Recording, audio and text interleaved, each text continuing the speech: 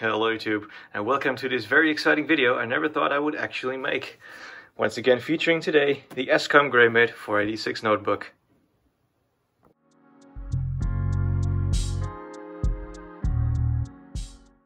Let's rewind a good amount of months where I actually showed off a couple of different laptops that I had in my possession, including this Escom Greymate 486. Also with a little bit of a inquiry whether there was anyone in my viewer audience that would have or would happen to have an actual power supply for one of these. I never got any replies to that. I've had a number of eBay searches going on. I've had a whole bunch of people uh, that were looking out for one of these and never really came across any power supplies that worked. The closest lead I got was the Home Computer Museum here in the Netherlands where the owner told me that he also had one of these Greymates and he did have working power supply. So I got a model number off of him and, well, I started searching with that. And uh, the long search has paid off because this plug, in fact, is not a PS2. This is the actual power supply connector with an entire power supply attached on the end for the Escom Greymate 486 notebook. Alright, so just as a little bit of a recap, let's do another tour around this notebook computer. On the right hand side, we have the 3.5 inch floppy drive, which I actually know happens to work just fine. Here's the cover. The hard drive is behind here. It's a regular 2.5 inch IDE drive. On the back, we have two doors. Serial and parallel over here. Shared PS2 mouse and keyboard port. The infamous power supply, uh, power input an expansion bus connector for which I've never actually seen any accessories, but, well, I haven't really looked for them either. I'll admit that much. Here's another flap on the left-hand side of the notebook. VGA over there. We'll test that out in this video. I haven't actually tested that yet, so should be good. And on the bottom, there's not a whole lot. Battery cover with no battery inside. Here is a cover that shows some stuff. And here we can see Escom Advanced Computer Technology, Greymate 486 notebook, input rating 16 volts at 1.2 amps. Made in Taiwan. These are actually rebranded Mitac notebooks, but you know. I'm assuming that's the BIOS ROM chip. And there's a couple of ICs around there, and there are four screws here that hold the hard drive in place. Those screws are very finicky. They don't always go down all the way. I guess age has really gotten to them. So I've only installed the two that I know I can easily remove again without stripping. So yeah. And here we have the overall appearance of this notebook here. Small little, I think it is 12 inch, uh, 640 by 480 monochrome display reasonably good keyboard, trackball action over here, mouse buttons over there. So yeah, you have to use it left-handed. I will say that uh, using a trackball left-handed is not all that bad. Power button over here, brightness and contrast controls, and it has a genuine Intel 32-bit microprocessor inside. Oh yeah. Okay, she's all plugged in. Let's turn her on. And then we'll talk specifications. I should plug in the power supply as well. That would help.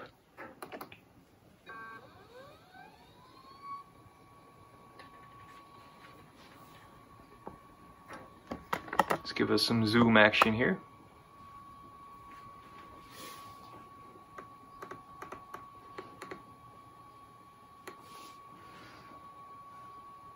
Yep, that looks about right. I'll give it an F2. Obviously the CMOS battery is dead. I opened up the notebook before and I found out that it was actually, uh, the CMOS was managed by two, I, whoops, by two IKEA alkaline batteries. Just soldered together. Invalid configuration, RAM size incorrect. Alright. So we have 4 megabytes of RAM in total. We have a 33 megahertz Intel 486DX CPU Many of these laptops actually came with a 486SX processor with no floating point unit. Uh, let's let's put in the current date and time. It's 29th of March 2021. Right, let's turn off numlock, the zero won't work, and it's 927 in the morning. Let's fill in our hard drive type. It's none of these. It's a Conner CP2124, which doesn't really tell you a whole lot. It's a 120 megabyte hard drive. We have 762 cylinders, 8 heads, 39 drat, 39 sectors, no compensation, 762 landing zones. We'll hit F10 to confirm. As reported as a 116 megabyte hard drive. Checking the values. Yep, that looks good.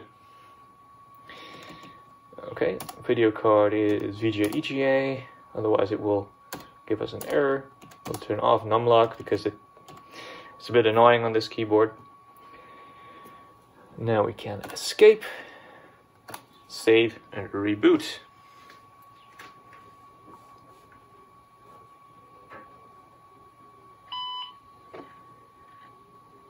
And it's going to boot into Microsoft MS-DOS version 6.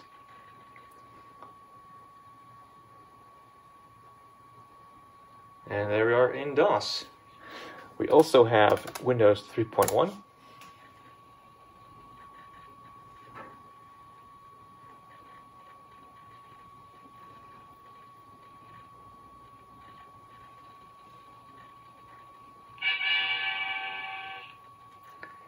might think that's a bit weird sounding, and you'd be correct. That's because this laptop does not have a sound card. So install the generic PC speaker driver, which will allow you to get some sound, even if you don't have a actual sound card.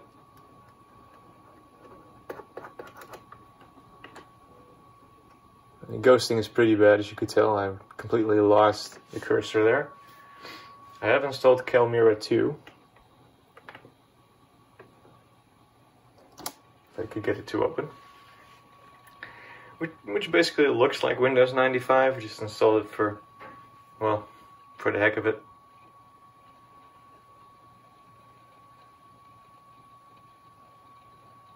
Makes Windows 3.1 feel a little bit more modern. Not that it really matters.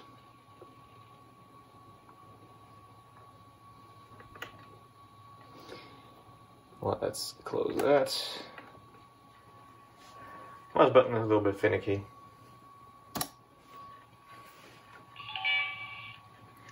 Yeah, there it goes. so yeah, it appears to be working just fine. One thing I haven't tried yet is to hook it up to an external monitor. So we'll try that right now. I have a VGA cable handy. So we'll plug it in. Let's see if it wants to cooperate. It should output color video, as far as I know.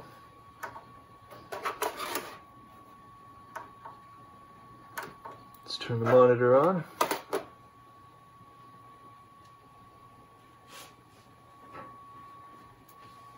I'm not sure if it's actually going to show any signal at all. Just checking the cable. The cables are attached properly. So that's not the issue. What we might have to do is actually shut it down.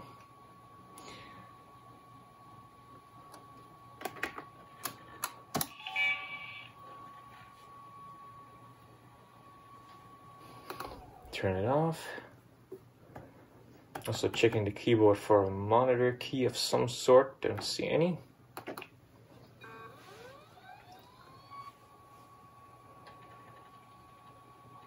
Yep, monitor's turning on. There we go.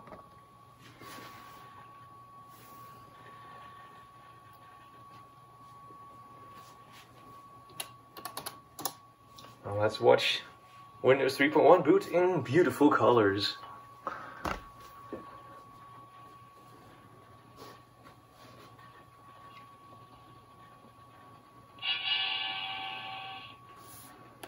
Isn't it pretty? At 640 by 480. Let's see Calmira again.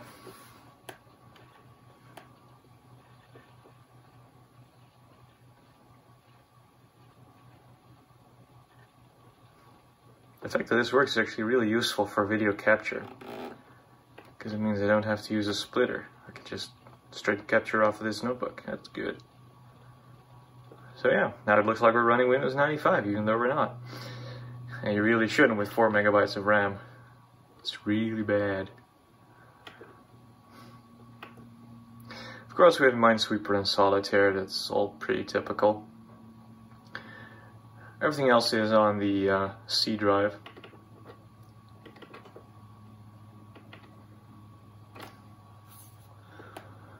So we have Wolfenstein 3D and we have stunts.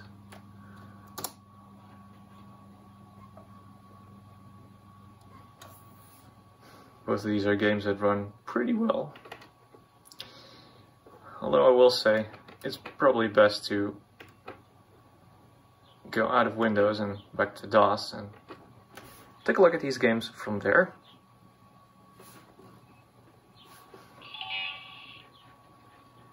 Yeah, Windows 3.1 without acceleration, it's not pretty, but it works. Let's go to stunts first. I could type. I'll use the 4D batch file, so we can bypass copy protection, because we are pirates like that.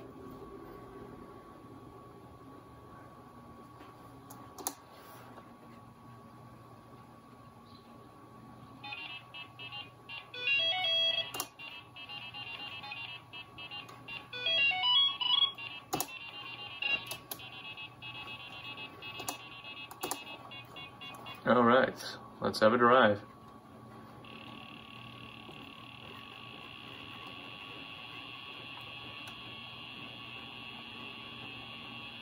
With beautiful PC speaker sounds.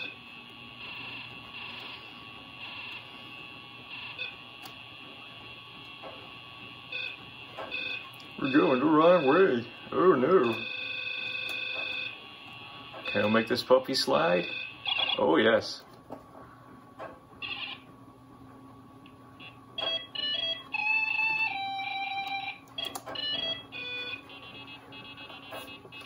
The PC speaker in this is not that great. It's just one of those piezo beepers. It doesn't have an actual speaker in there, which is sad. So again, we also have Wolfenstein 3D, which would be very... Jeez, I can't type. Uh, numlock is on again. Bloody numlock! Wolf 3D.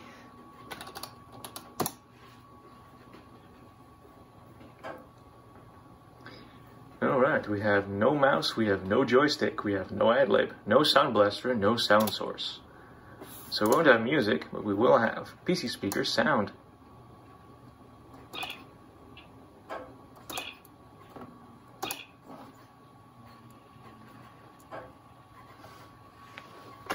Alright, let's get psyched.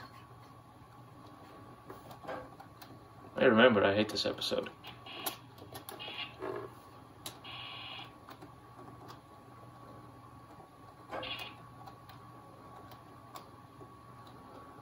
Think this is the one with the zombies.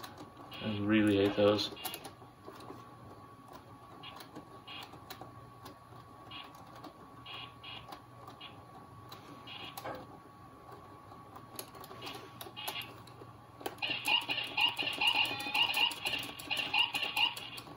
Oh dear.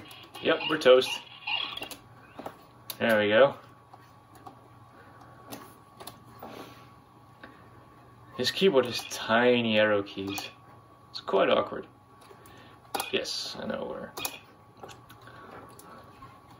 Let's go to the episode that everyone has played. Episode 1.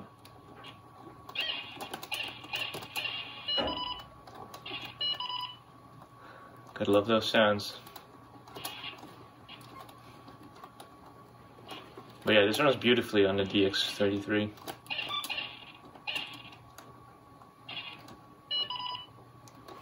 Oh, trigger something.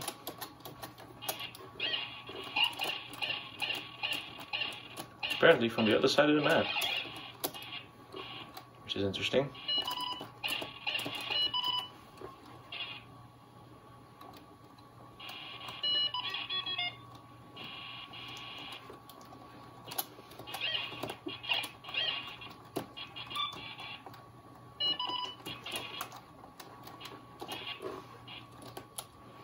Oh yeah. Let's kill those Nazis. Get all that Nazi gold.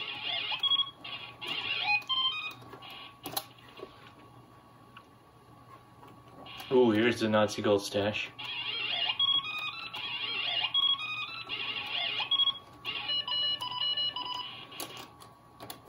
Gotta love all those beeper noises, right?